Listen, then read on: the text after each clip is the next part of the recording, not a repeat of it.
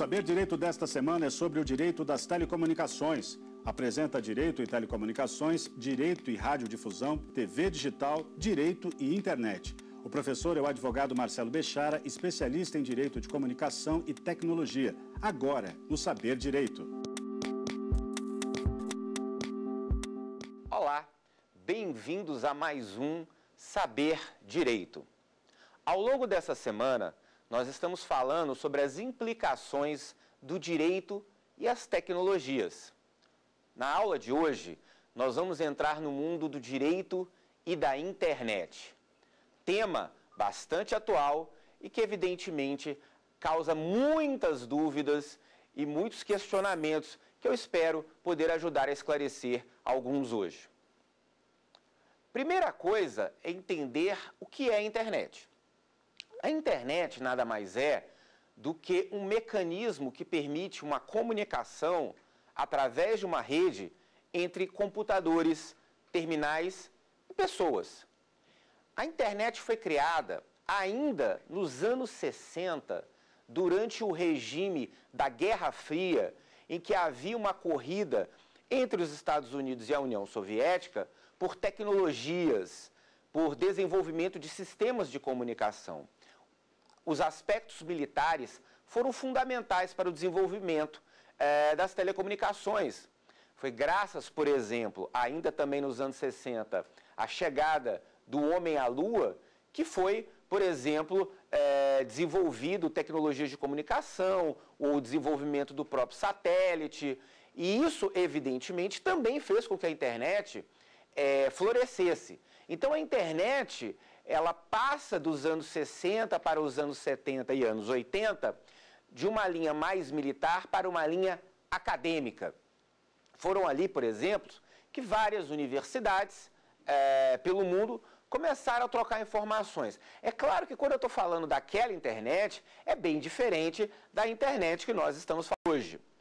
No caso do Brasil, é, ainda nos anos 80 e no começo dos anos 90, já havia efetivamente é, comunicações feitas através da grande rede mundial de computadores. Essas comunicações eram basicamente através de universidades, para pesquisas e desenvolvimento. Mas foi efetivamente em meados da década de 90, com a introdução daquilo que nós conhecemos como a internet comercial, que efetivamente a internet começa a ganhar a escala, a relevância e a importância que ela tem hoje. Isso porque, a partir do meados da década de 90, pessoas comuns, cidadãos, passaram a poder instalar em seus computadores terminais que permitissem acessar a internet. Naquela época, a internet era muito lenta, se comparada com a internet de hoje. É impressionante como é que, em pouco tempo, do ponto de vista histórico, uma tecnologia mudou e continua mudando a nossa sociedade. Para se ter uma ideia, ainda nos anos 90, é, foi introduzido, é, através de uma portaria interministerial, aquilo que seria o conceito jurídico até então de internet. O Ministério das Comunicações, à época, junto com o Ministério da Ciência e Tecnologia, entenderam que a conexão à internet, diferentemente do que acontecia naquele ano com as telecomunicações, não deveria ficar na mão do Estado. Deveria se permitir que os diversos empreendedores locais nas suas cidades é, pudessem efetivamente criar provedores de internet e conectar pessoas. Com isso, foi a partir então dos anos 90 para os anos 2000 que a internet no Brasil ganhou efetivamente uma grande relevância. Naquela época, se falava muito na internet web 1.0. Esses termos 1.0, 2.0, 3.0, eles nada mais servem que para proposições didáticas. Né? Não são é, elementos muito claros de divisão entre uma era e outra, mas servem de forma bastante significativa para ilustrar, para orientar a compreensão. A internet web 1.0 é aquela basicamente que permitia que você acessasse informações de grandes sites. Era muito comum acessar através de é, sites de notícias, é, fotos de museus. Era aquele mais ou menos primeiro momento em que a internet foi concebida do ponto de vista comercial. Com o passar do tempo, já se começou a falar na internet 2.0. Ali nós já tínhamos efetivamente ferramentas de buscas, redes sociais. A internet passava a ser muito mais sofisticada, a velocidade já era maior, então os conteúdos em vídeo ganharam bastante importância e permitiu com que cada usuário pudesse colocar o seu próprio conteúdo na rede. É o chamado User Content Generation, ou a geração que, além de consumir conteúdo, produz conteúdo. A internet 3.0 é aquela em que se estabelece uma relação mais individualizada, mais personalizada, uma experiência cada vez mais personalizada em relação à navegação na rede. Isso faz com que, por exemplo, conteúdos sejam direcionados a você de forma é, especial. Também as propagandas, publicidades, aquilo que a gente chama de mídia programática, permite com que determinado tipo de conteúdo que seja do seu interesse chegue até você. E para onde isso vai parar, nós não temos absolutamente nenhuma ideia. O que se sabe é que uma revolução a quarta revolução industrial está em curso e que nós somos parte dessa grande transformação. A portaria interministerial que criou a norma 4 em 1995, além de definir a internet como uma ferramenta de comunicação entre computadores, estabeleceu a separação entre o provedor de conexão e o detentor da infraestrutura. Os detentores da infraestrutura são as empresas de telecomunicações, à época estatizadas, mas que foram privatizadas em 1998. Com o advento da banda larga, as próprias empresas de telecomunicação e também pela mobilidade passaram a ter a condição também de fazer a conexão dos usuários à internet. Naquele primeiro momento, a internet de escada, você basicamente ia até um computador, fazia uma ligação telefônica, ligação essa que lhe colocava na grande rede e depois você desligava. A partir do momento da banda larga, o always online ou o sempre conectado passou a ser uma realidade que evidentemente se tornou ainda muito mais forte com a utilização dos smartphones, dos telefones celulares. Essas implicações são muito importantes para o direito, por quê?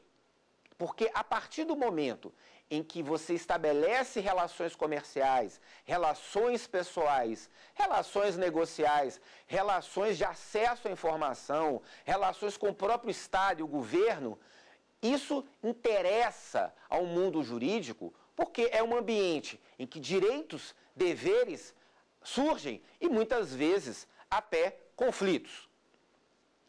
No caso da regulação da internet no Brasil, é, é importante que se diga que ah, não existe efetivamente uma ou outra entidade responsável por uma regulação no sentido amplo, no caso brasileiro. Nós temos, sim, algumas instituições, algumas entidades com competências bastante específicas. Eu vou dar o caso do Comitê Gestor da Internet no Brasil. O Comitê Gestor da Internet do Brasil, ou CGI.br, foi criado ainda em 1995 como uma instituição multissetorial formada por empresa, usuários, academia e governo para discutir o desenvolvimento da internet no país. O Comitê Gestor da Internet é responsável, entre outras coisas, pela definição de regramentos em relação aos nomes de domínio e aos protocolos IP. O que é o protocolo IP? O protocolo IP, ou Internet Protocol, é exatamente aquele que permite a comunicação da internet.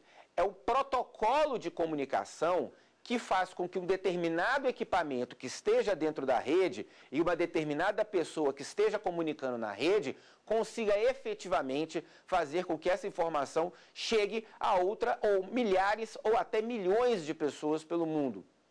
Isso é possível graças ao desenvolvimento desse protocolo IP, que hoje já se encontra na sua versão 6 em implantação.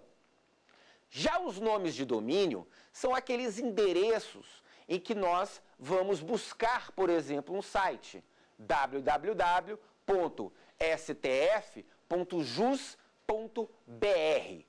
Esse é o endereço que faz com que se chegue até o portal do Supremo Tribunal Federal. Por trás desse nome de domínio existe um número. 188 ponto alguma coisa, ou 200 ponto alguma coisa. Na prática, nós teríamos que estar decorando milhões de números, milhares de números para acessar diversos sites. Para facilitar isso, então que os nomes de domínio, que são efetivamente palavras, foram é, concebidos para facilitar essa navegação.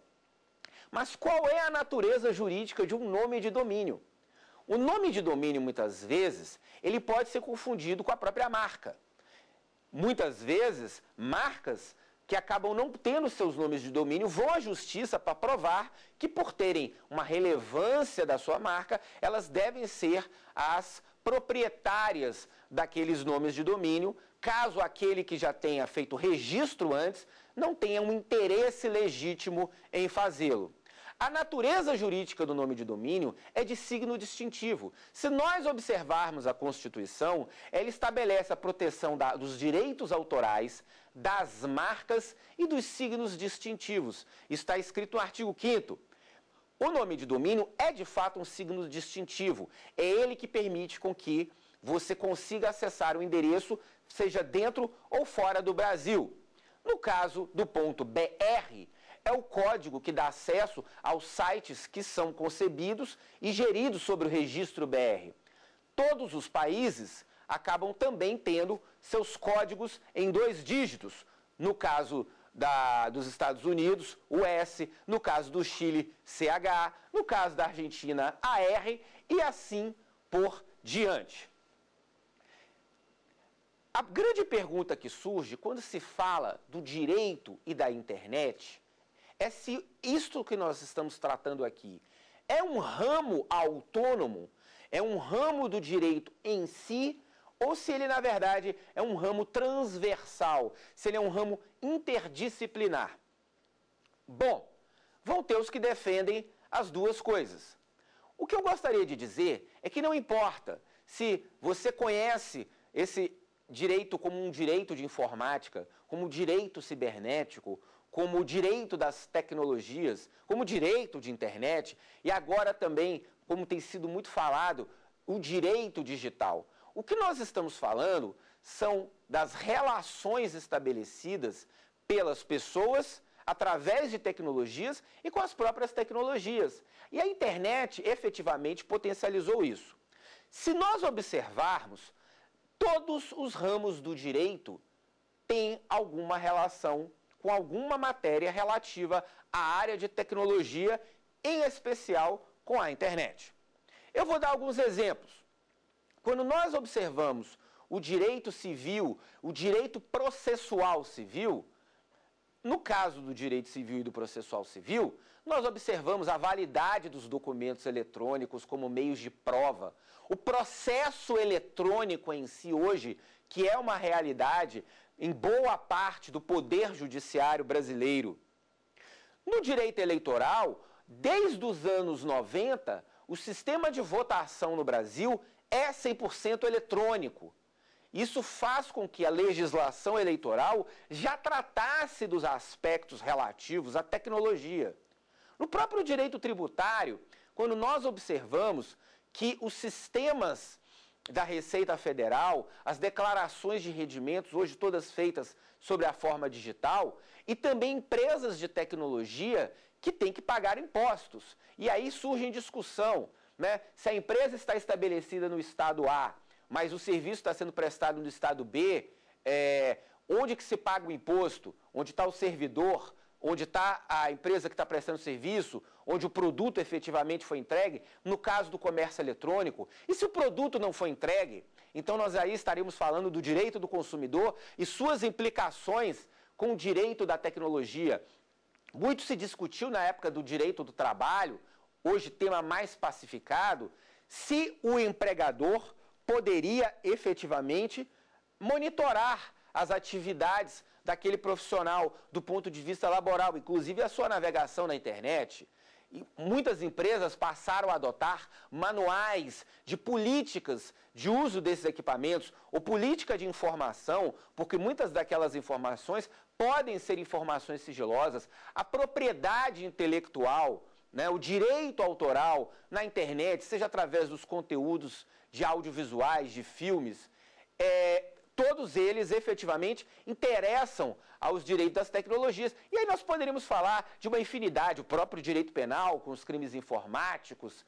É, então, o que eu gostaria de dizer é o seguinte: independente se é um ramo autônomo interdisciplinar, ele interessa a toda a ciência jurídica. Vamos à nossa primeira pergunta. A internet é uma terra sem ou quase sem lei? A internet não é uma terra nem sem nem quase sem lei. A internet, ela é um ambiente em que as pessoas se relacionam. Consequentemente, danos podem ser causados. E se danos forem causados, independente de ser na internet ou não ser na internet, eles devem ser reparados. Existe uma certa, um ambiente que as pessoas acreditam, muito pelo romantismo do começo da internet, romantismo esse que já não é mais tão evidente, principalmente depois das revelações de vigilância na internet por departamentos de governo e de Estado, que a internet é uma terra sem lei, mas ela não é. A prova disso é que, mesmo antes da adoção de legislações específicas para a internet, como o próprio Marco Civil da Internet, ou mesmo quando o Estatuto da Criança e do Adolescente, no seu artigo 241, foi alterado para que a pornografia infantil pudesse ser atualizada para os tempos digitais, pessoas já eram condenadas por práticas, por exemplo, de crimes independente se ele foi ou não através da internet. Não, a internet não é uma terra sem lei. A internet, sim, ela tem suas peculiaridades, ela tem as suas especialidades e às vezes até suas dificuldades, tendo em vista o anonimato. Mas o que se tem observado é que o direito e a justiça cada vez mais têm criado eficácia e as decisões, já existem várias jurisprudências várias mesmo jurisprudências do Brasil ao longo desses anos que tratam dos diversos temas das relações jurídicas e da aplicação de leis, inclusive em âmbito da internet no cyberespaço. Os nomes de domínio, eles têm uma natureza constitucional. Eu gostaria agora de abordar sobre a importância dentro da Constituição de outros elementos, além dos nomes de domínio que eu mencionei agora há pouco. Quando nós observamos a Constituição de 1988, lá nós encontraremos é, uma série de valores que eu acho que são muito atuais e que são plenamente aplicáveis à era da internet. O primeiro deles é a liberdade de expressão. A liberdade de expressão, de manifestação do pensamento, a liberdade artística, a sua expressão cultural, são valores que independem do meio. E, evidentemente, a internet trouxe a possibilidade de que todo mundo, ou quase todo mundo, possa colocar a sua opinião, colocar a sua expressão. Do mesmo jeito, o direito à imagem, também previsto na Constituição, ele deve ser respeitado na internet assim como outros valores, como a privacidade, o direito à intimidade, o direito à proteção dos dados, da comunicação. São valores constitucionais que estão estabelecidos né, e que independem se é, devem ser aplicados e respeitados no mundo online ligado ou no mundo offline desligado. Eu queria falar agora de um direito constitucional que geralmente é muito vinculado ao direito do trabalho, mas que tem uma natureza jurídica além disso. Eu estou falando do direito ao lazer. Quando nós observamos o artigo 6 da Constituição Federal, em que direitos sociais são estabelecidos, como é o caso da saúde, como é o caso da educação, como é o caso da moradia, como é o caso do próprio trabalho, o emprego, lá está inserido também o direito ao lazer. O direito ao lazer, ele não necessariamente se confunde com o direito ao repouso semanal, quando o empregado ele tem o seu período previsto de descanso é, após um determinado período de trabalho. O direito ao lazer ele é muito mais do que isso. O direito ao lazer é um direito ao entretenimento, é o direito a, por exemplo, independente de você estar tá num repouso semanal ou não, ter acesso a informações, a entretenimentos, a jogos. Infelizmente, o direito ao lazer, ele não é muito abordado no Brasil. Nos Estados Unidos, já se fala no chamado direito do entretenimento, que envolve, entre outras coisas, não só as mídias digitais, mas toda a comunicação de um modo geral, cultura, tecnologias, é, games, cinema, uma área muito interessante e muito aberta que pode interessar você que está aí assistindo em casa a esse programa e que pode ter alguma relação, algum interesse em perceber que muitas dessas questões que parecem não ter relação com o direito, sim, tem.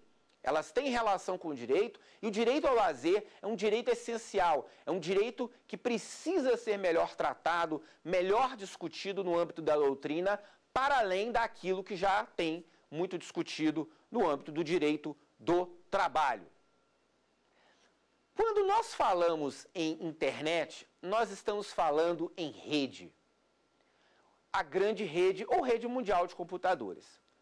Uma rede nada mais é do que elementos que são interconectados entre si e que podem enviar, trocar e receber informações. A partir do momento em que há uma sociedade em rede, essa sociedade ela passa a ter comportamentos muito próprios e muito específicos que são criados pela própria rede. E eu vou dar um exemplo disso: a colaboração. Hoje se fala muito na era da colaboração. O que é a colaboração? A colaboração é essencial, é fundamental para o desenvolvimento e a própria existência da internet. Eu vou dar um exemplo. Um site, por exemplo, que tem um grande número de informações, como é o caso do Wikipedia, que hoje, aliás, há bastante tempo, já a maior enciclopédia é, é, é, do mundo, ela foi concebida por todos nós, por pessoas. Eventualmente, você que está nos assistindo já pode ter colaborado. Se não fosse esse trabalho colaborativo em nível global, muito provavelmente aquele volume de informações não estaria ali disponível. A colaboração hoje permite, por exemplo, com que pessoas em diferentes países possam estar envolvidos nos mesmos projetos. Isso acontece, inclusive, nos meios musicais. Muitos autores, compositores e músicos gravam trechos de uma obra musical completamente em países diferentes, em estúdios, seja eles profissionais ou dentro de casa, que depois vão ser colocados através de uma remasterização, de uma edição, para que se componha a partir dali uma obra intelectual, uma obra fonográfica, musical. E isso pode acontecer também para obras artísticas, pinturas, fotografias, vídeos. A colaboração faz com que cada um de nós tenha um papel relevante dentro da rede com que nós possamos extrair da internet um volume importante de informações, mas que nós possamos também colocar na internet um volume importante de informações. Um grande exemplo da colaboração e a sua evolução é a chamada era do compartilhamento. Hoje é muito comum você observar aplicativos em que pessoas compartilham bens e muitas vezes seu tempo. É o caso, por exemplo, dos aplicativos de carona remunerada, em que uma determinada pessoa que tem seu carro particular pode dispor do seu carro de um determinado momento para transportar uma ou mais pessoas a título de remuneração, em que o próprio aplicativo organiza essas relações de é, acesso é, àquele serviço, oferta do produto, oferta do tempo. Isso já acontece não apenas só com carros, mas também com casas, apartamentos, quartos, barcos, lanchas, passeios até é, com cachorros e, e todas as formas possíveis e imaginárias em que nós possamos, em algum momento, estar acessando algo de alguém, mas nós podemos ao mesmo tempo estar oferecendo isso a alguém. Essa relação de compartilhamento, ela é fundamental para nós entendermos que o direito também é uma obra que está sendo constituída através do compartilhamento. E cada vez mais vai caminhar nesse sentido. Para se ter uma ideia, já é comum em alguns casos, na construção de leis no âmbito do processo legislativo, se fazer uma ampla consulta à sociedade através da própria internet, coisa que há algum tempo atrás não era possível. Com isso, mesmo aquelas pessoas que não vêm a Brasília, que não estão em Brasília, ou que de alguma certa forma não têm uma relação direta com a construção de um processo legal, pode e deve contribuir, pode e deve colaborar. Isso, do ponto de vista acadêmico, é extraordinário, porque significa que várias informações que várias construções acadêmicas, do ponto de vista da ciência jurídica, podem e devem ser colaborados. Isso muda, inclusive, a forma como nós nos comportamos. Basta observar nas redes sociais o número de pessoas com que nós temos relações, pessoas que sequer conhecemos efetivamente, mas que muitas vezes constam dos nossos perfis como se amigos nossos fossem. E muitas vezes relações são construídas, relações profissionais, relações pessoais são construídas através desses ambientes de rede social. A rede social é um ambiente de colaboração, porque informações são colocadas, são é, vídeos compartilhados. Muitas vezes, informações que não são relevantes para um número gigante de pessoas, mas que podem ser relevantes para um grupo reduzido. Às vezes, conteúdos que parecem bobos, muitas vezes tolos, acabam ganhando uma relevância global. Esse universo da internet torna muito fascinante, muito interessante para todos aqueles que são da ciência jurídica, porque coloca alguns questionamentos que são muito fortes. A internet, ela não tem fronteiras geográficas. Se ela não tem fronteiras geográficas, é muito complicado, em alguns casos, você conseguir identificar com clareza os limites da aplicação de direitos e das aplicações de leis. Além do mais, a internet é um ambiente de desenvolvimento global, em que muitos países estão dialogando, conversando, contribuindo, são pessoas, engenheiros, que de uma certa forma fazem com que a rede seja construída e que ela tenha chegado até aqui onde chegou. Eu gostaria então de chamar a nossa segunda pergunta de hoje. Quem regula a internet? Essa é uma excelente pergunta. Não existe uma única instituição que regule a internet. A internet, até pelo seu modelo multifacetado, pelo seu aspecto plural e muitas vezes multissetorial, acaba sendo é, regulada de, através de instituições que tratam muito especificamente de uma determinada área. Eu vou dar um exemplo. A Agência Nacional de Telecomunicações, Anatel, ela é responsável pela regulação, fiscalização, sancionamento e outorga de serviços de telecomunicações. A internet, ela funciona em cima de infraestruturas de telecomunicações. Empresas de telecomunicações provêm a conexão à internet. Então, até esse ambiente de infraestrutura e conexão, você vai, por exemplo, dizer que a Agência Nacional de Telecomunicações ela tem um papel regulatório na internet. Todavia, a internet é muito mais do que isso. A internet você circula, por exemplo, conteúdos audiovisuais, tem o um comércio eletrônico, o sistema financeiro.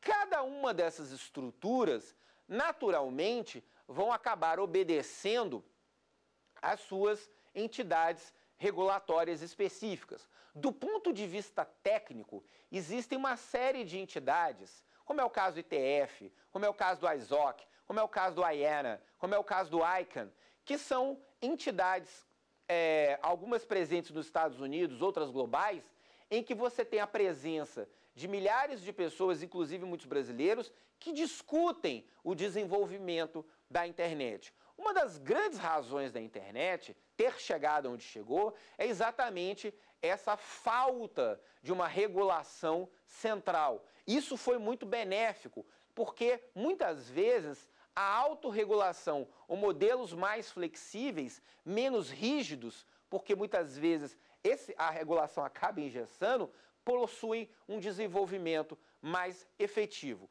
O que não significa que a internet seja um ambiente à prova de regulação. Que uma eventual regulação ou que uma eventual legislação não vá ter algum impacto sobre a grande rede mundial de computadores. Eu gostaria de falar então agora do famoso Marco Civil da Internet. O que é o Marco Civil da Internet? O Marco Civil da Internet nada mais é do que uma legislação que é uma carta principiológica, em boa medida, mas não só isso, que traz valores constitucionais que são adaptados e contemporizados para a sua aplicação na internet. O Marco Civil da Internet, na verdade, ele nasceu de uma grande discussão em, a partir de uma outra lei, que foi a Lei dos Crimes Informáticos, também conhecida como Lei Carolina Dickmann. Naquele momento da Lei dos Crimes Informáticos, se debateu a possibilidade de que para se navegar na internet, todos os internautas brasileiros tivessem que ter algum nível de identificação para que fosse vedado qualquer tipo de anonimato. Isso fez com que diversas entidades da sociedade civil organizada e da mídia, da indústria, tecnologia, cientistas, acadêmicos, enxergassem a necessidade de se proteger os direitos dos internautas. Reconhecer que a internet é um ambiente em que devem ser efetivamente preservados direitos constitucionais, inclusive direitos como os direitos humanos.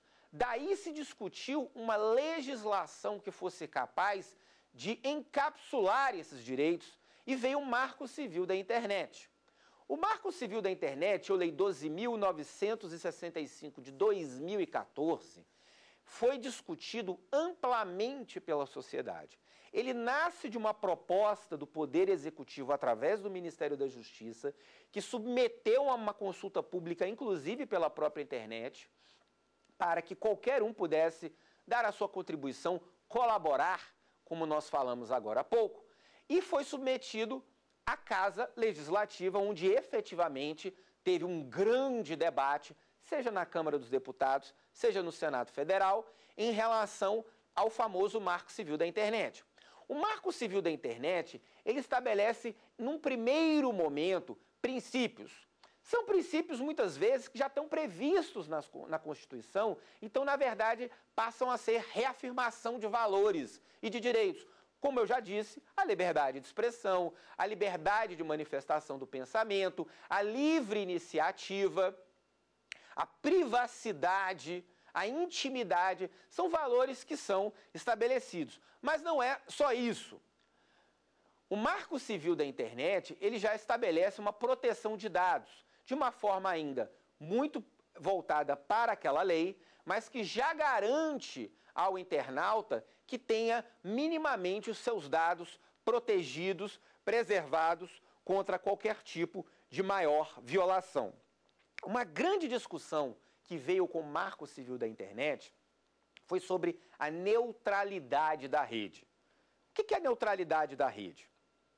Ora, o que se imagina é que para a internet ter alcançado o ambiente em que chegou, a rede ela estabeleceu uma lógica em que não haveria uma priorização de um determinado tipo de informação em detrimento de uma outra informação. O que, que a neutralidade estabelece é que aquelas empresas que provêm a conexão, as empresas que colocam você na rede mundial e que lhe proporcionam você estar conectado, não podem cometer qualquer ingerência no tráfego da rede para privilegiar determinados tipos de conteúdo, determinados tipos de aplicação em detrimento de outros. Caso contrário, poderia eventualmente uma determinada empresa censurar uma determinada informação de uma outra empresa concorrente. E isso não é permitido na legislação brasileira. A neutralidade de rede não significa, contudo, que a rede está completamente imune a qualquer tipo de ingerência. Muitas vezes é necessário e importante que algumas gerências, gestões sobre a rede, sejam feitas justamente para manter a sua segurança, justamente para manter a estabilidade. O que não é admissível no direito brasileiro é uma discriminação, é um tratamento não isonômico em relação a usuários e a competidores. E esse valor é um dos grandes valores que foi discutido no âmbito do Marco Civil da Internet, que é a questão da neutralidade da rede. Muitas vezes as pessoas confundem neutralidade com velocidade. A internet, ela tem três elementos básicos quando você faz uma contratação de um pacote para o seu acesso. Uma é a velocidade. Essa sim pode ser diferente. Eu posso ter um acesso a uma velocidade muito maior do que, por exemplo, o meu irmão, um amigo ou um colega. Por outro lado, esse meu irmão, amigo ou colega pode ter uma velocidade menor, mas ele pode ter uma capacidade de consumo de dados maior do que a minha. Ele pode ter de 10 GB, por exemplo, e eu posso ter de apenas 4 GB por mês. A outra coisa que é importante é em relação ao tráfego. E é neste ponto que a neutralidade prevalece. As velocidades podem ser diferentes, as capacidades de armazenamento de informação também podem ser diferentes. O que não pode ser diferente é o tratamento no acesso à informação, a conteúdos, aplicações, não permitindo com isso que empresas possam discriminar em relação a conteúdos, em relação inclusive à raça, à cor, a gênero. Todas essas questões têm que ser preservadas. Quando a gente fala de direitos humanos, também de forma didática, que se estabelece os direitos humanos de primeira, segunda, terceira geração. Os direitos humanos na área cibernética são chamados os direitos humanos de quinta geração. Sobre esse aspecto, eu gostaria de mencionar o artigo 19 da Carta dos Direitos do Homem de 1948. Se você observar a leitura do artigo 19, você vai identificar que desde 1948, ou seja, muito antes da existência da internet, no momento pós-Segunda Guerra Mundial, já se havia um sentimento da necessidade de que informações pudessem ser obtidas, que o conhecimento pudesse ser difundido, independente de fronteiras geográficas, independente de quem você é.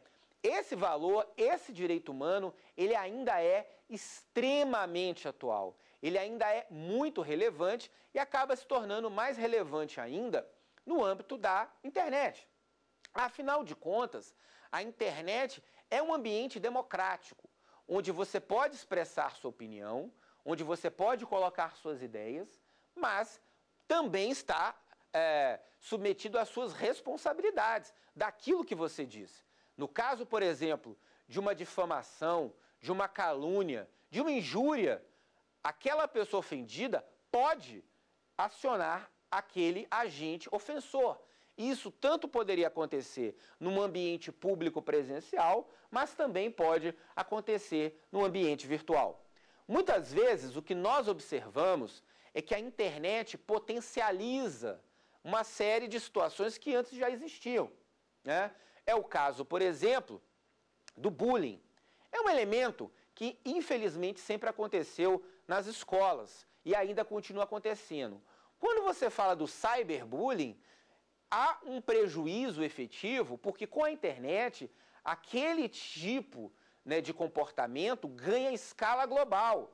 E aquilo que antes, muitas vezes, ficava circunscrito aos, a, a, às instalações daquela escola, passa a ter uma relevância bastante importante. E isso, nós, operadores do direito, temos que estar atentos. Temos que estar atentos ao nível de potencialização em que as relações jurídicas são estabelecidas e que a internet consegue colocar muitas vezes até em escala em nível mundial. Eu gostaria então de chamar a nossa terceira pergunta de hoje. A inteligência artificial ameaça as carreiras jurídicas? A inteligência artificial é um tema do momento. De tempos em tempos, grandes assuntos vão sendo abordados no âmbito da internet.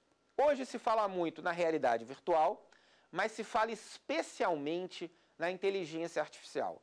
A inteligência artificial não é um conceito novo, é um conceito que já existe há bastante tempo, que é a capacidade de sistemas informáticos terem raciocínio, condição de tomar determinados tipos de decisão e de ter um aprendizado. O que mudou de lá para cá é que as novas tecnologias, principalmente de processamento de dados e o volume de informações que estão na internet, muitas vezes em nuvem, em computação de nuvem, conseguem extrair daqueles dados e empregar do ponto de vista eh, econômico, social e político. Sim, a inteligência artificial certamente vai acabar com muitas profissões ou vai tornar com que muitas profissões se tornem obsoletas. No caso do direito, eu não acredito nisso.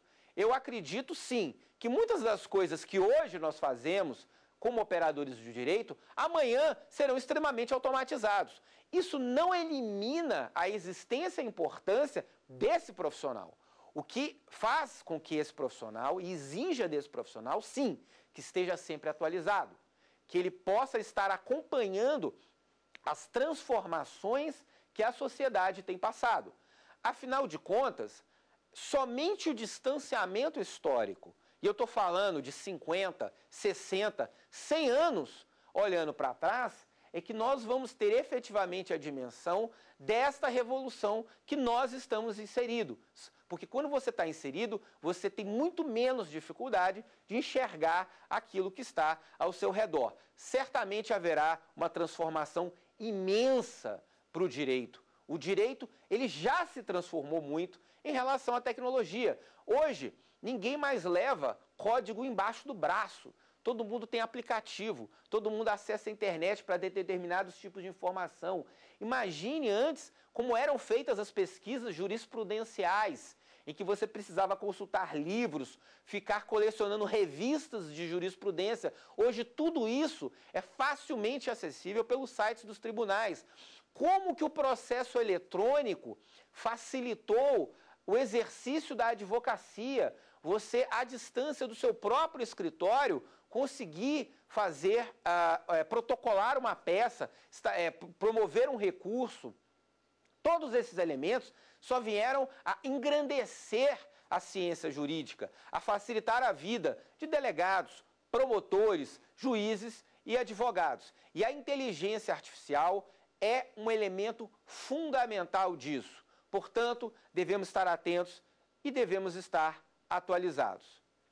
Um outro elemento muito importante para aqueles que praticam a ciência jurídica é observar as diversas transformações que estão acontecendo na área tecnológica que podem ter implicações muito interessantes na área jurídica. Eu vou dar como exemplo um dos grandes assuntos do momento, que é o blockchain. O que é o blockchain? Quando foi desenvolvida uma criptomoeda, que hoje é a mais famosa, mas não é a única, é o Bitcoin. Ela foi concebida dentro de discussões em redes sociais, em chats, em que foi estabelecida uma forma pela qual se tivesse um sistema financeiro em que não tivesse um agente é, governamental como um intermediário. Ora, quando você tem um agente financeiro, isso lhe dá o quê? Segurança, garantia de que aquele dinheiro que você é, pegou, que você recebeu naquela moeda de uma determinada instituição financeira, seja no Brasil, seja no exterior, você pode efetivamente fazer o uso daqueles recursos. Então, como confiar que uma determinada informação, bits, dados, que representem dinheiro, possam efetivamente ser utilizados como tal para, por exemplo, fazer aquisição de comprar produtos, serviços. Daí é que surgiu então a tecnologia blockchain. A tecnologia blockchain nada mais é do que uma rede colaborativa é, de milhares de computadores, que são chamados mineradores, em que eles dão uma garantia e uma certificação de que aquela efetiva transação ela aconteceu. Isso faz com que não apenas um, como por exemplo, hoje você tem os cartórios, né? Você vai a um cartório para fazer uma autenticação de um documento. Você vai a um cartório para fazer uma assinatura que tem um reconhecimento de firma. Isso, através do blockchain, não é feito por um único agente centralizador.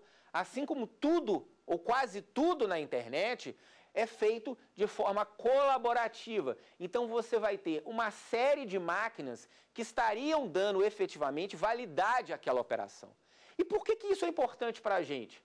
Porque efetivamente esse conceito do blockchain que nasce para fazer ter uma eficácia na criptomoeda, no caso do Bitcoin, ele possa ser aplicado a tudo ou a quase tudo. Como, por exemplo, na validação de documentos. Imagine que aqui no futuro os cartórios podem não ser mais tão necessários ou importantes, porque você vai poder fazer uma validade, uma verificação das, uh, das relações através de um sistema é, tele, é, informático, como é o caso do blockchain. Um outro elemento importante que é, é que é do, da ordem do dia são chamados smart contracts. O que são isso? São os contratos inteligentes. São contratos que são estabelecidos e, na verdade, são facilidades tecnológicas que permitem que contratante e contratado façam uso da tecnologia para ter mais segurança do cumprimento efetivo daquele contrato. Eu vou dar um exemplo. Imaginem vocês uma grande concessionária que, de carros, que vende carros e que precisa repor o seu estoque dos carros que vêm da fábrica. Ora, se ela tiver um contrato inteligente, a partir do momento em que o seu estoque de carros para venda começar a diminuir, automaticamente já é encaminhado um pedido para aquela fábrica de automóveis para que faça a emissão daqueles carros para aquela concessionária. Toda essa relação é feita de forma automatizada. A partir do momento em que o carro sai, então, da fábrica, ele é acompanhado através de um GPS até efetivamente chegar à concessionária. Quando chega, há um fechamento daquela relação negocial jurídica e o pagamento eletrônico é autorizado. Imagine o nível de segurança nas relações contratuais que o futuro nos espera em relação aos smart contracts. Na aula de hoje, nós abordamos a internet e a sua história. Qual a sua relevância para a aplicação nas ciências jurídicas? Nós falamos do conceito jurídico de internet no Brasil e como ela se desenvolveu no Brasil. Nós abordamos a colaboração, um elemento fundamental para fazer com que a internet chegasse e continue evoluindo.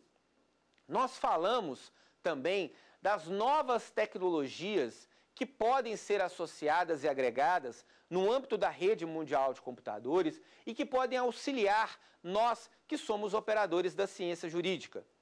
Falamos também da importância das relações sociais que são estabelecidas dentro da rede mundial de computadores e as suas implicações no mundo real, podendo, inclusive, prejudicar, lesar direitos, criar direitos, obrigações e deveres. Falamos de tecnologias como smart contract, como o próprio blockchain e como isso está revolucionando, assim como a própria inteligência artificial, a, o nosso mundo e, evidentemente, o mundo jurídico. Alguns especialistas dizem que essa era que nós vivemos é a era da quarta revolução industrial. A primeira revolução foi uma revolução agrícola. A segunda foi efetivamente quando foram implementadas as máquinas, os primeiros equipamentos, né, muitas vezes eles a vapor. Quando você teve a terceira revolução industrial, era uma revolução que já tinha um aspecto informático, em que você tinha um nível de processamento de dados, um, é, computadores que faziam com que determinados processos pudessem ser feitos de uma forma muito mais eficiente. A quarta revolução industrial, ela é a da internet em toda a sua plenitude. É aquela que permite, por exemplo, que não apenas pessoas, mas máquinas conversem entre si. Isso já acontece hoje já acontece com os relógios, já acontece com televisores e todas essas transformações, elas têm implicações jurídicas. Nós falamos hoje de como o direito das tecnologias e da internet tem relação com todos os ramos jurídicos, inclusive com aquele que você atua ou que você escolheu para ser a sua área de atuação e de especialização. Bom, eu na próxima aula vou continuar falando de direito de internet, mas desenvolvendo as suas questões jurídicas, as suas decisões judiciais, inclusive no âmbito do Supremo. Eu espero vocês. Até a próxima e muito obrigado. Ficou com dúvidas? Então mande um e-mail para saberdireito@stf.jus.br. E você também pode estudar pela internet. Basta acessar o site tvjustiça.jus.br.